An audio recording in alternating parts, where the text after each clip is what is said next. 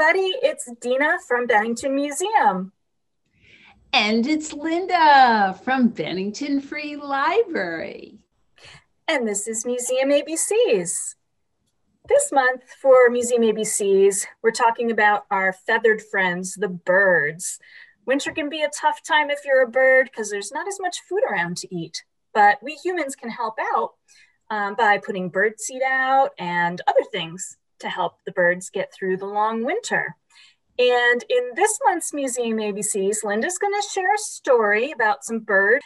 And we have some special activity bags that you can pick up at the Bennington Free Library or at the Bennington Museum during either location's regular hours. And inside the activity bag, we have some treats for you. We have um, a couple of different kinds of bird feeders that you can make at home and a little birdhouse that you can decorate for your feathered friends as well. Everything's right there in the bag. And the library is open Monday, Wednesday, and Saturday for takeout from 10 a.m. to 2 p.m. How about the museum, Deana? The museum is open Friday, Saturday, Sunday, and Monday from 10 to 4 until December 31st. After that, we're closed for a while. So come get your bag before December 31st. Okay, and we have lots of bags, but when supplies run out, that's it. so. For the next takeout or for the next um, museum ABC? Our next museum ABCs, which is going to be in February, right? Yes. We take the month of January off, but we'll come back in February with something fun and exciting for you. So, Linda, do you have a book to share with us today? I do. Oh, Here. Oh, I can't wait to hear it. I'm going to turn my video off so everyone can see you and you can read the story to us. Thanks. See you, see you later. This book is called How to Find a Bird written by Jennifer Ward, illustrated by Diana Sudyka.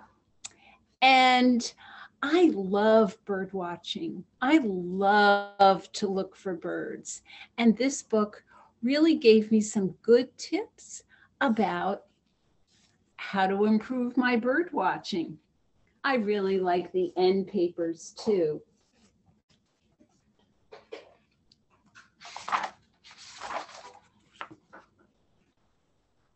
There are lots of ways to find a bird. That's the wonderful thing about birds.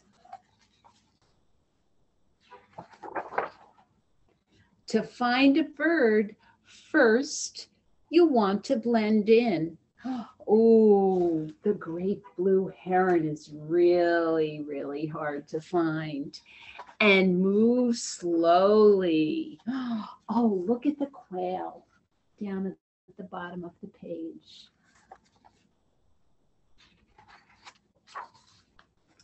Quiet is good too. So quiet you can hear your heartbeat. Shh.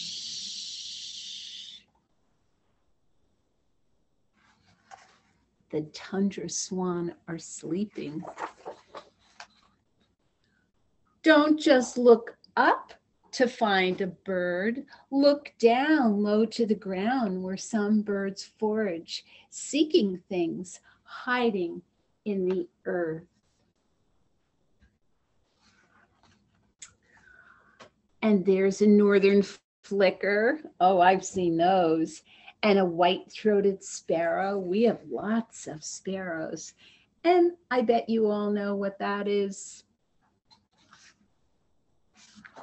If you said robin, you were right.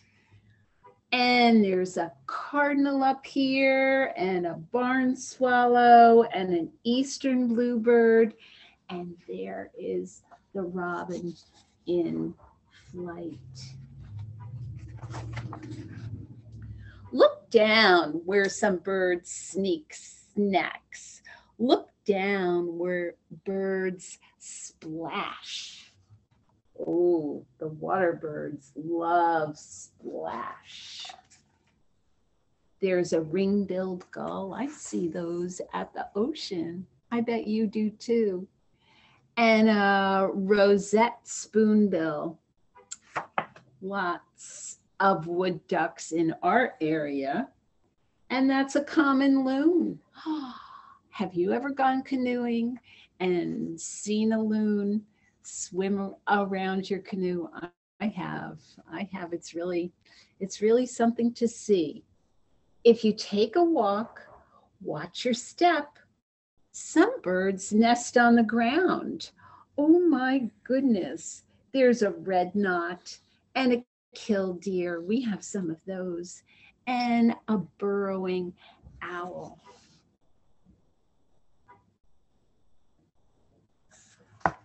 Seen lots of owls, but never a burrowing owl. Maybe sometime I'll see one. So don't just look up to find a bird. Sometimes you can find a bird by looking straight ahead. You will have to have a sharp eye, sharp as an eagle's eye. And do you see the boy with the binoculars? I forgot to bring my binoculars today to show you, but I have a pair at home. Birds are the cleverest blenders of all. At first, you may not see them, but if you wait, if you are still, and if you are quiet, you'll see you are just as clever as a bird. Oh, look at that owl in the tree. Do you see that owl? And, oh, there's an eastern whippoorwill. I've never seen one, but I definitely have heard them. And a brown creeper. Oh, those were new to our feeder this year. Of course, you can always look up to find a bird too. Oh, look at all those birds flying in the sky. Do you have a favorite? I think mine actually would be a goldfinch. I see finches all the time, all year long. I like that about them. You can look up high in the sky where birds fly. Sometimes when you look up, you'll find birds simply sitting. That's a fun thing to do if you're taking a car ride. And especially if you look up and you see birds who are sitting on telephone wires or who are perched in a high tree along a highway. Sometimes that's when I see red-tailed hawks. If you could perch high in the sky, what might you see? Oh my goodness. A murmuration of starlings.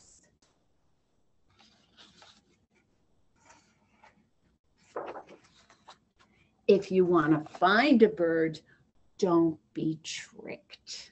Some birds are stealthy. there it is. Look at that peregrine falcon. Wait a minute, where did it go? Was that even a bird? Where did it go? They are tricky, those falcons. Sometimes you don't even need to find a bird. It will find you. And there are mourning doves, and there are the kids watching them fly near their house, and an eastern bluebird. Oh, there is a beautiful little birdhouse. Some birds will announce their presence when they are near. Chickadee dee dee, caw, caw, caw, or announce your presence when they see you. And that's often when you see a blue jay and they see you, they go, Jay, Jay, Jay. They are squawkers. And if you feed them, they will come. That's why we have some special things in your take home bags um, in your museum ABC bags this month. You can feed the birds, look inside, and you'll find things that will help you feed the birds. Oh, look at that downy woodpecker. We have lots of those. Red capped chickadees, of course, and cardinals. They're another one of my favorite birds. We have lots of ruby throated hummingbirds that come to our special hummingbird feeders, but they fly away. They fly away when it gets cold, and then they're gonna come back. They come back in May and June, and then they're here all summer. All you need is a window to find a bird. Some birds can't be found at all unless you read about them. Oh my gosh, a dodo. These birds are extinct, which means that they no longer exist. Kind of sad, huh? There is Carolina parakeet, passenger pigeons, dusky seaside sparrow, and ivory billed woodpecker. These birds are extinct. Can you say that word extinct? But the best way to find a bird, if you want to find one, is to close your eyes. Okay, close your eyes, everybody. Did you hear that? Did you hear that bird?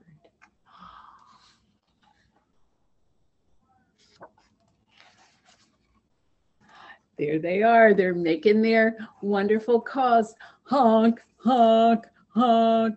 Witchetty, witchetty, jerry, jerry, jerry. Yitty, yitty, yitty. Woo, cooks for you. That's the wonderful thing about birds. Oh, look at that beautiful whooping crane. Those are so beautiful. And at the end of this wonderful book, it tells you how you we can all be bird watchers and things that we can look for field marks, beak color, eyebrow, stripe, eye line, eye ring, throat patch, and wing bars.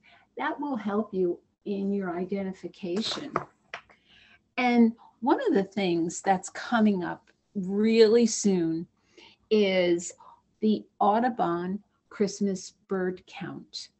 And Christmas is coming up really soon, isn't it? The Christmas bird count starts uh, December 14th and it goes to January 5th. And you sign up online and you could be like a citizen scientist and go out and count the birds and then report it to Audubon. And they put all those numbers together.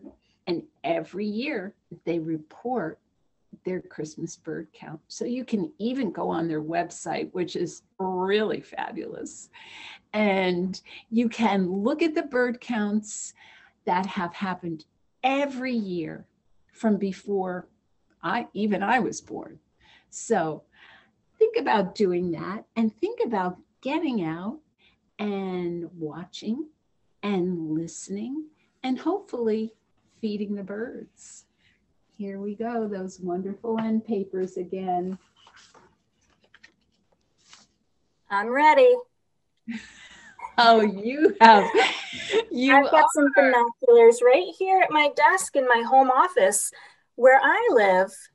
On one side of our house, we have um, a, a big cornfield and so on this side of the house, we keep a pair of binoculars so that we can watch the kinds of birds that like to live near the fields and the meadows.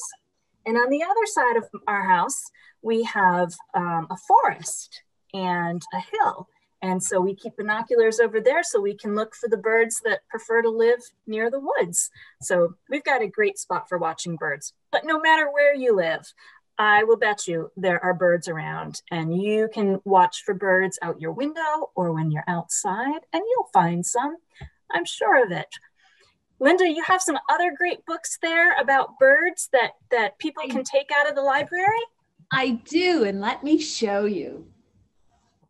Remember, we were talking about do, being a citizen scientist and doing the Christmas bird count through Audubon. This book gives you more ideas about how to be a citizen scientist. And it's be it says be a part of scientific discovery from your own backyard. It is by Loree Griffin Burns. This one is really good. It is a Kids Can Do It book about bird feeders. And there are all kinds of bird feeders for you to make, and lots of ideas for you to make a simple bird feeder and put it up in your backyard. And most of the materials they suggest are recycled materials. My first nature activity book also has some ideas about making bird feeders. And this is one of my faves. It's called What's That Bird? A Beginner's Guide to Backyard Birding. Getting to know the birds around you coast to coast and it is just filled with great photos and great ideas. And it's published by Storey Publications, which is located in North Adams. So it's one of our neighbors. They publish wonderful books. Look up Bird Watching in Your Own Backyard by Annette LeBlanc Cate. I love her style of illustration and her funny way of writing. You'll get a laugh looking up. And I, you can find all of these books at the Bennington Free Library, right? You can, and these can be um, put on hold, or you can email us and we'll get them together and check them out to you. And you can come Monday, Wednesday, or Saturday for takeout. Great. And everybody should have their own bird book. This is one that um, we have at the library, but I have a couple at home. How about you, Deana? Oh, yes. We have, um, I bought many years ago the Audubon Guide to North American Birds, I think. It's about this mm-hmm. thick. And it's a really fun way to try to figure out what kind of bird I'm looking at. Sometimes what I do is I take a picture of the bird because they don't like to stay still long enough for me to figure out, you know, if they have eye stripes or yellow beaks or orange beaks. So sometimes I take a picture and then I look at it and compare it to the book to figure out what kind of bird it was. Yeah, Just that's a, a great way to do it. Well, well thank you so much for sharing that story with us, Linda. And I just want to remind everyone to come to the museum or to the library to pick up your activity bag so you can get started feeding the birds near your house. And we'll see you again in February. Bye bye. Bye bye.